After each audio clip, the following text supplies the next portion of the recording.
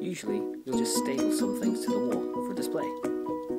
But this tip involves taking a trusty toilet roll tube. First cut the toilet roll tube at both ends and splay out the edges.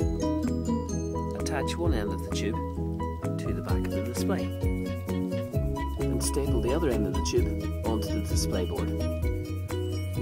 Now, you have a very effective three-dimensional display. Thanks, Anne, for the tip.